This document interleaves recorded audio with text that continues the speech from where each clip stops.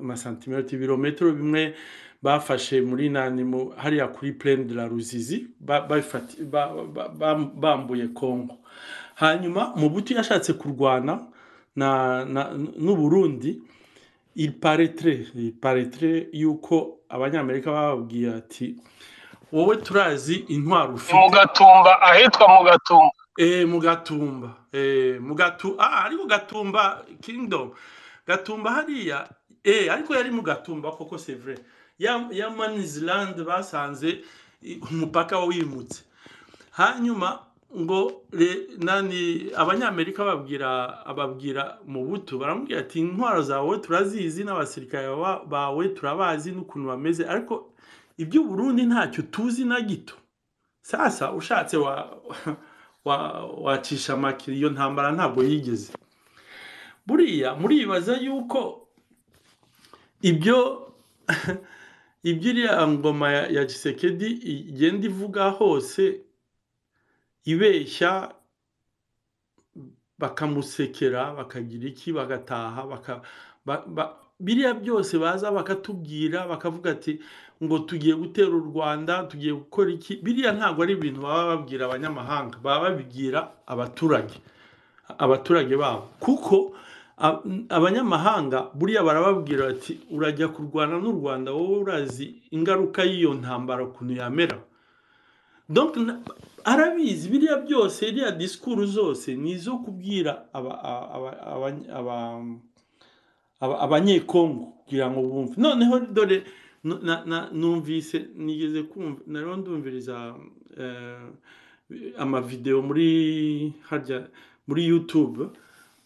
Noneho ya, za ntwaro u rwanda rwari rufite barashishije nani indege ya ya ya ya ya, mig something ya, congo irubaya nani rubavu igasha.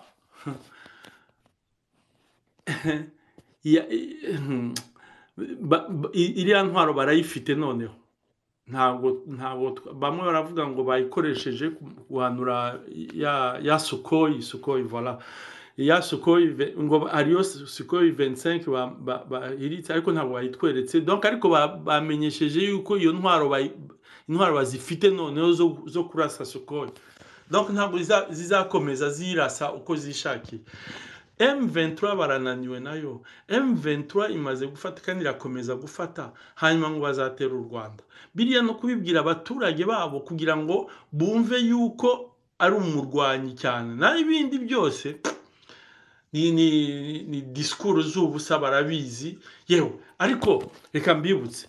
Ejo bundi bavuze yuko eh, amerika yafatiye ibihano eh, u rwanda ariko ntabwo byari u rwanda gusa hari ibihugu byinshi bavuga ngo bakoresha abana mu gisirikare.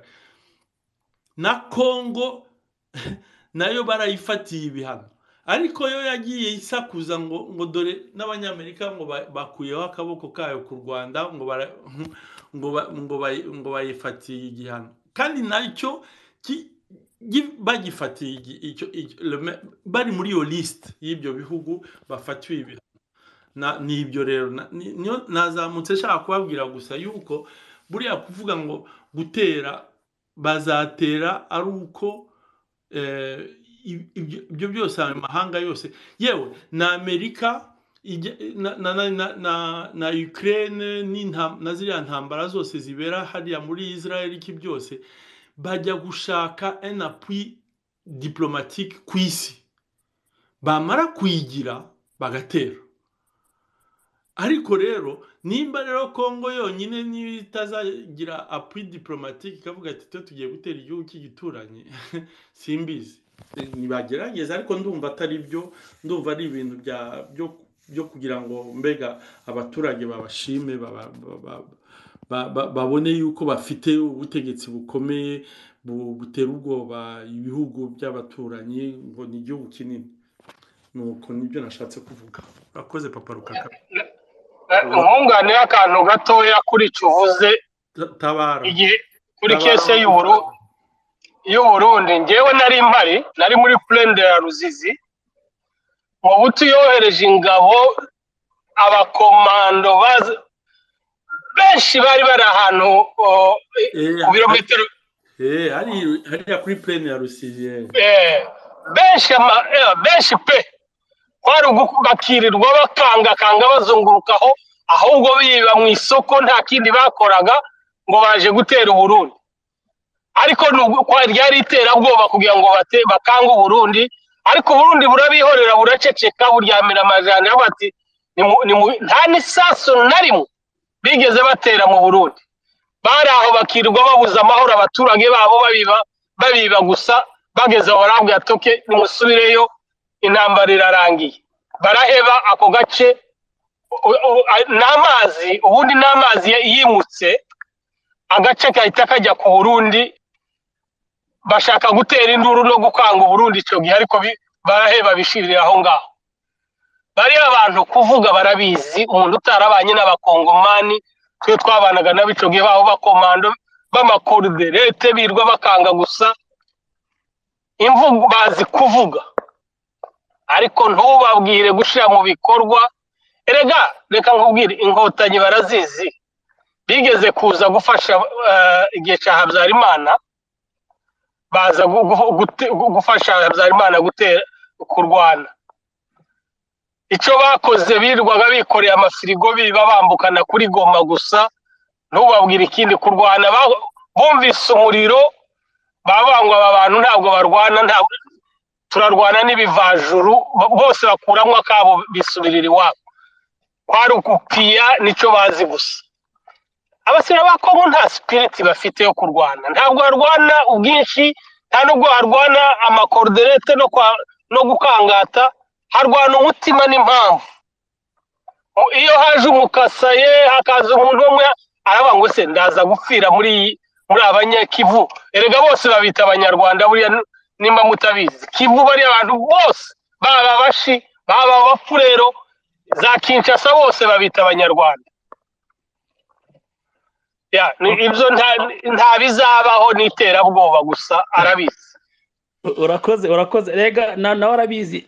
Ni uko rimwe na rimwe hari ibyo abantu bavuga ati ngo ni ukwikira igitatu ugaseka ariko kuvuga ni kimwe no gukora ni ikindi. Eh, reka bita jile jile yaje yaje kare.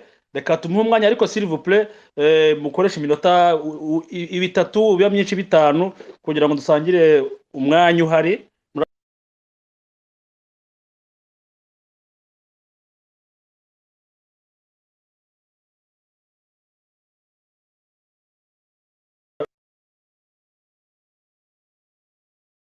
Sawa urakoze sawa urakoze. Kabera kabera ni wowe? Muraho. Muraho neza ni amahoro. Ah, ikintu cya mbere ndishimye ndishimye cyane kwisanga kuri iyi sipesi nari maze igihe kirekire mbyifuza ariko nkabura umwanya wo kugira ngo tuvugane. Ah, hano nabonye abantu nkunze gukurikira cyane umuntu bita Ru- rucuro n'ab- n'abandi ariko hano kuko hariho abantu bakuru njye ntago ndi mukuru ariko hano hariho abantu bakuru nifuza kubaza ikibazo mukaza kunsubiza. Muri kunyumva? Turakumva turakumva nta kibazo ukomeza. Ariko ngira ngira ngo ibibazo okay saba saba, nta kibazo ari gukomeza. Mm, njyewe navukiye mu rwanda ariko ababyeyi banjye ni abakongomani. Hari ibintu nkunze kumva nkabumvaho namwe eh, nkumva no kuri n'aka kanya numvishe amakuru avuga ko nk'impunzi impunzi zahungiye hano mu rwanda HCR iri yatangiye kujya ibima ibiribwa. Ariko nkahita ngira ikibazo icyo si cyo kibazo na naba ngifiteho. Ahubwo nkibaza kuri iyi ntambara ya M23 na n'aba ku n'aho igeze. Ndibuka kera amateka ngewe mfite mfite amateka avuga ngo numvishe ngo nko mbere y'uko abantu ba, eh, abasirikare cyangwa se inkotanyi ziza kubohora u Rwanda baje baturutse mu mpande zose z'ibihugu bitandukanye. Ibyo bihugu bidukikije aho bari barahungiye bari impunzi. Ariko bakatubwira yuko impamvu bari ba- ba- ba- bafashe inzira ya mbere yo kuza kubohora u Rwanda ni uko bari bababaye. Uko bari bababaye ariko nkibuka nanone mu mateka batubwiye ba- bambwiye njyewe bambwiye yuko hari abasore b'i Masisi bataye inka mu bibuga mu kibuga muri mirongo icyenda na gatatu cyangwa se muri mirongo icyenda na kabiri baza mu Rwanda baje kwifatanya n'abandi ngo batabare igihugu. Abo banyarwanda kuza gu- gu- gutabara igihugu cyabo bari barambiwe agasuzuguro ko mu nkambi k'ibihugu bari barimo baraza batabara igihugu cyabo. Ariko nkahita nibaza ikibazo kivuga gutya. Ah, nsubiye inyuma gatoya. Mwibuke yuko n'ubugande ubwarwo ubwabo ba- bafashe inzira baraza baza gutabara igihugu cyabo cyari kiri mu karengane. Nkahita mvuga ngo ese ko mu nkambi harimo ah, harimo abana b'abasore. Ba- ba- baba baza gufasha bagenzi babo. Icyo ni, kimwe. Ikindi cya kabiri. Mu, baje gufasha mu baje gutabara u Rwanda harimo abasore. Nk'uko tuzi ko uh, Fred Rwigema yari yari umusirikare ukomeye mu Bugande. Ariko mu Bugande ntiyabyitaho ko ari umusirikare ukomeye. Aravuga ati reka mfate iya mbere nze ntabare bene wacu bari ku gushira hakaba harimo n'abandi bari bari mu mahanga aho kure. Kuko ino kuri iyi space harimo abantu bari mu mahanga. Muri muri Amerika no mu bindi bihugu. Numva muvuga neza numva muri n'abahanga ariko nkibaza kubera iki mwebwe? Mutafata inzira ngo namwe muze gutabara. Ikindi ko mu Rwanda hano si ibanga si ukuvuga ngo ngo ni ngo wenda ngo umuntu ngo yaba atabizi yego simbihagazeho. Bitaza kuba icyaha ngo navuze ngo ni byo. Ariko nkavuga ko hari abasirikare. Nk'uko Fred Rwigema nawe yibohoye akavuga ati reka njye gutabara iwacu. N'abandi bakaza. Turabizi ko na perezida wacu yari umu- yari umusirikare ukomeye muri mu Bugande. Kubera iki? Bo batafata inzira kuko dukurikije ukuntu abantu bari gushira. Kubera iki? Bo batafata inzira ngo baze gutabara bajye i Masisi. Nkatwe twebwe twavukiye mu Rwanda twumva amateka yo muri yo muri Congo. Ubu ngubu njye nibereye umunyarwanda ntago navuga ngo wenda ababyeyi banjye bavuka iyo ngiyo muri Congo ariko automatically njyewe nahise nibera umunyarwanda. Nabaye umunyarwanda pire nta n'ikintu kiranga yuko naba ndi umunyekongo sibye ibyangombwa byo kuba ndaba ndi mfite iby'aba- by'ababyeyi banjye. Kubera icyo abo basirikare namwe muri aho ngaho mutafata inzira ngo mwi mwiyime icyo cyubahiro mufite n'ibyo bintu mufite ngo muze kujya muze mu- mutabare. Kuko bari gushirira muri Congo kuko cyangwa se tugiye twumva n'ayo ma speech y'aba bantu turebye ukuntu bari kurya umuntu bari kwica umuntu it is easy. Kubera iki mwebwe mutafata inzira ngo mujyeyo cyangwa se ngo mujye gufatanya n'abandi. Mu kanya nari ndi kuganira n'umuntu arambwira ngo ngo wowe se kutafata inzira ngo ujyeyo. Kuko reka mbanze mba- mbanze mbabwire. Koresha umunota umwe koresha umunota umwe tugusubize. Eh, reka mbanze mbabwire ukuntu bimeze. Njyewe na- nshobora kuba yego hari- ibigwari. Nanjye muri ibyo bigwari ndimo kuko ndicaye ndatuje. Kuko nanjye kuko nkanjye sinzi ngo bimeze bite bi- bi- what's going on? Kandi muri aba gutabara igihugu cy'u Rwanda hari abasaza hari abakecuru bafashe inzira baragenda. Ari bo twumva ngo ni abakada ni abaki mu nkambi bari gupfira mu iki bari kwishimira kujya muri Amerika bafashe inzira bose bakagenda bakarwanirira rimwe igihugu kikaboneka. Okay, urako kabe kanze ngusubize rwose ndagusubiza mu magambo make cyane atarenze umunota umwe. Eh, wenda ubishaka eh, araza kukunganira araza kunyunganira sorry. Eh, ki uv- en tout cas ibyo uvuze vuze tuda- anda- ndemera na- ndemeranya na yo ku bibazo bitatu wabajije cyangwa se ibitekerezo ngira ngo ni ibibazo ariko bi- bivanze n'igitekerezo kuko iki kibazo kirasa n'igitekerezo.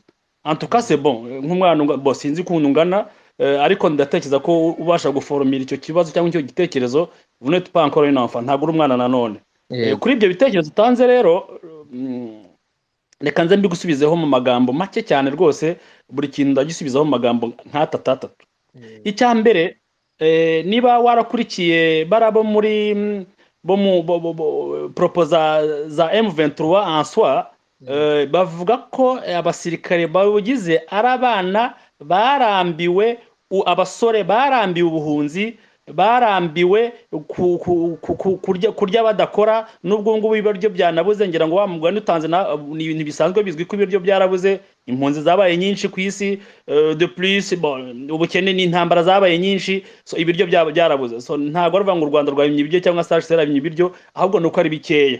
So rero ba- abasore bamwe bafata inzira rwose baragenda pe. Nagira nkubwira ngo abasore bari mu nkambi rwose pe nanjye ubwanjye navuyeyo rwose ngenda umusaza ariko ntabwo ndi umusaza ku buryo nta- ntashobora gufata imbunda.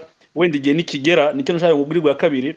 Icya mbere ni uko abasore rwose baragenda pe pe pe. Usibye nuko hari abasore bagenda n'inkumi ziragenda. Noneho n'aba- n'abakobwa babyaye kabiri n'abadamu babyaye kabiri gatatu bakiri intuza rwose baragenda. Ibyo jete garantisa uko niko kuri. Icyo ni kimwe. Kuba rero abantu bamwe batari bajyayo bakaba bari mu nkambi umuntu eh, umwana umwa- eh, umwana avukira amezi icyenda iyo avukiye umunane n- ntabwo aba akuze. Bavuga ko yure prematire igihe ntikiragera wenda ariko eh, gutabara ni kimwe gutabara ni umutima. Wenda mu ndimi niba utaraza ntabumvira rimwe mu ishuri kuko mu ishuri mu ishuri ry'abana mirongo ine na batanu haba harimo ubwoko butatu bw'abanyeshuri. Ngira ngo urabyumva wa- warize eh, cyangwa urakiga.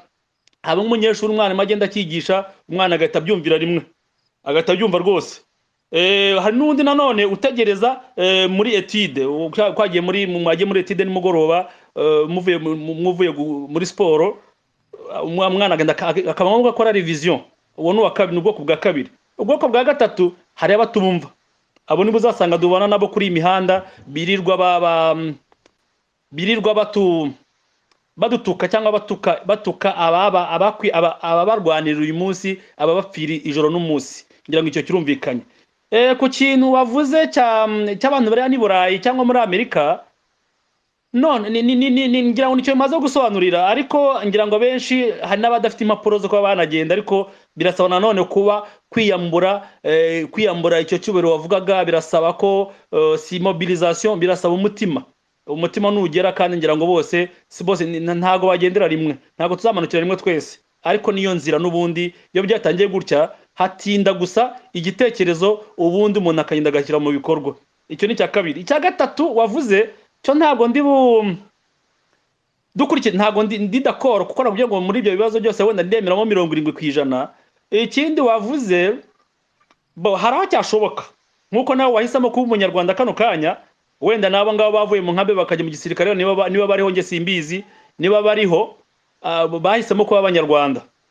Wenda wa- ugi- hariho ngaruka inyuma nkabyo ati byashoboka cyane kuba batari babitekerezaho. Niba bitekereza bazaza ntawamenya ariko sintekereza ko abafashe inzira bakajya kurwanira igihugu mu- bakajya gufasha eh, abanyarwanda bariho bibohora mu rwanda ba- banyurize muri za uganda ngira ngo ni amateka yabaye yuko abanyarwanda bashwiragiye bakajya i buganda bakajya tanzania bakajya i burundi bakajya muri congo ngira ngo abo bavuye muri congo abenshi bari abanyarwanda bari batashye wenda ntibabuze kugenda n'abandi bata batari abanyarwanda barimo pe hari n'abavuye umurenge hari abavuye masisi ariko ngira ngo abenshi muri bo abenshi muri bo icyo naguhamiriza cyo eh, kuko imyaka mfite wenda nagiye mbona byinshi abenshi muri bo basigaye muri congo niba uzumva barimo bariya ba makenga niba uzumva barimo bariya ba ntaganda niba uzumva barimo bariya mbega abasirikare benshi uzi muri congo b'abatutsi cyangwa eh, abanyamurenge batabaye igihugu bakaza mu rwanda cyajya muri afudeli noneho abandi ba- ba- bapori batashye abanyarwanda barataha pire ariko abakongomani abenshi basigayeyo. Ngira ngo ni cyo ngicyo na- naguhamiriza cyo nakwemerera ariko kuvuga ngo hari abakongomani si b'abatutsi bakiri mu gisirikare cyo mu rwanda simpamya ko baba bakirimo niba unarimo yaba yarabaye umunyarwanda niko njye mbitekereza. Sinzi niba ari cyo papa kingdom. Eh? Mbabarira ngo usubize kuri ako kantu. Eh, okay, okay. Ni, ako ngira ngo ntabwo biri impaka ko ni ikibazo wabazaga ngira ngo wenda Eh, ntibiri impaka kuko ntabwo ari cyo turi kuganiraho. Yes? Eh, njyewe mwaje ka- mwaje kare. Ariko nta nanjye ni bwo mbafatishije ntago nzi ibyo na muri kuganiraho. Ariko ni icyifuzo cyanjye nashakaga ibyo turuganira ibyo turuganira biri kuri titre hejuru biri kuri titre ni byo Eh. turuganira ariko nta kibazo kibaze mu munota umwe dukomeze wenda Eh. papa kingdom arasubizaho. Eh, reka nkubwire. Ikintu kiriho ni uko hari abashatse kuba abanyarwanda nyine bye- byeruye sibyo? Kuko impamvu ba- bashatse kuba abanyarwanda kuko batigeze babona bene wabo babemera babe- babemeza yuko cyangwa se ba- babwira ati "Umu- umurongo ni uyu nguyu cyangwa se wavuye ahangaha cyangwa se tugomba kwitwara gutya nka nka bene wacu nyine. Sibyo? Uga- uga- ugasanga umwana yavukiye hano mu rwanda urareba nk'i- nk'iriya ntambara yabaye muri mirongo muri mirongo icyenda na gatandatu. Mirongo icyenda na gatandatu mirongo icyenda na karindwi. Igihe ya- yari iri kwica eh, FDL bano bari barakoze amahano mu Rwanda igihe bajyaga hakurya. Bakica abantu bakanyaga inka z'abantu. Ni ukuvuga ngo hari abavuyeyo baza mu Rwanda. Baza mu Rwanda icyo gihe baje ari abasore. Hari abana bavukiye n'i Goma ari batoya. Automatically bahise baba abanyarwanda. Ni ukuvuga ngo rero nkamwe bakuru mutagiye mubabwira ngo bibaye gutya kandi n'ibyo ngibyo n'abo n'ibyo bigwari cyangwa se abo bantu bashatse kuba abanyarwanda ku ngufu ni uko batigeze babona umuntu ubabwira ngo bigende gutya. Njye niko mbitekereza. Eh, urakoze niko urakoze. nakunga namukonera gatoya uyu musore. Yego yego eh, rwose reka mbanze mushimire ko afite ibitekerezo by'abarevolutionnere nubwo wenda bitaraba sitirikire neza. Kabera kabera funga funga funga mikoro yawe gatoya. Mu, mvugo yateruye cyane yagaye abantu wenda kuba hari abadafite amakuru uburyo batabara ndetse yongeramo n'ikibazo cy'abantu avuga ati baraje kubera ubuhunzi na se ni- ni ho avuka muri Congo ariko waraza aba umunyarwanda akaba adafite amakuru y'uburyo bwo gutabara ni muri iyo sanse numvaga bivugamo hakaba abo yise wenda ibigwari kubera bari hanze wenda bose badahaguruka ngo batabare eh, ikibazo gikemurwe vuba. Yego birumvikana rwose ibyo uvuga ariko uru- urugamba cyangwa gutabara cyangwa kumenya amakuru y'urugamba uko ameze bituruka mu bushake. Icya mbere ugomba kuba ufite ubushake mu mutima wawe nimba ufite uvuga yuko ababyeyi bawe bakomoka muri congo ugomba kumenya n'amateka ukabaza abakuru bakakubwira amateka kubera ko iba baje wageze aho ngaho ute kubera ko utasubiye aho ababyeyi bawe bakomoka